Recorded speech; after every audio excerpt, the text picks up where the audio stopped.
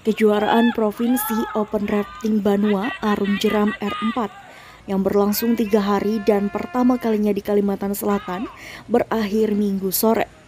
Memainkan tiga nomor lomba dan diikuti 20 tim lahir juara-juara baru yakni Hulu Sungai Selatan sebagai juara pertama untuk kategori yacht putra dengan raih waktu tercepat jalur sprint.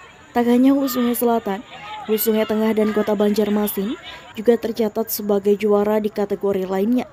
Sementara tuan rumah Kabupaten Banjar harus puas sebagai juara tiga. Alhamdulillah eh, kami mau Kabupaten Banjar khususnya tuan rumah kami ucapkan terima kasih buat seluruh kontingen yang berhadir dan alhamdulillah juga kami uh, dari Kabupaten Banjar mendapatkan hasil yang maksimal. Walaupun di kejuaraan ini kami cuma berlatih di rentan waktu dua minggu. Kami sudah mendapatkan hasil yang maksimal.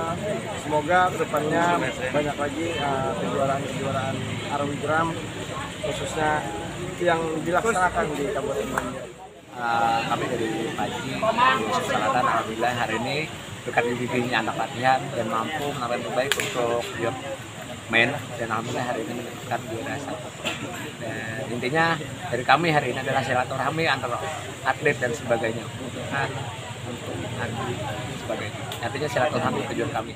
Jadi kejuaraan Arung Jeram Provinsi Kalimantan Selatan R4 ini telah ditutup dengan resmi uh, yang diikuti oleh 20 tim uh, yang berasal dari seluruh Paji Kalimantan Selatan.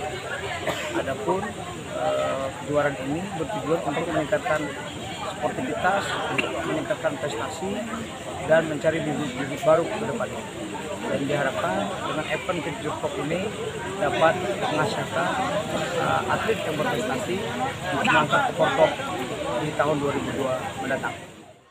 Dalam ajang silaturahmi ini, diharapkan bisa terus berkelanjutan untuk mengembangkan olahraga di Kalimantan Selatan, khususnya untuk mencari atlet-atlet yang berpotensi untuk mewakili Prapon 2023 akan datang. Manua TV Kabupaten Banjar melaporkan.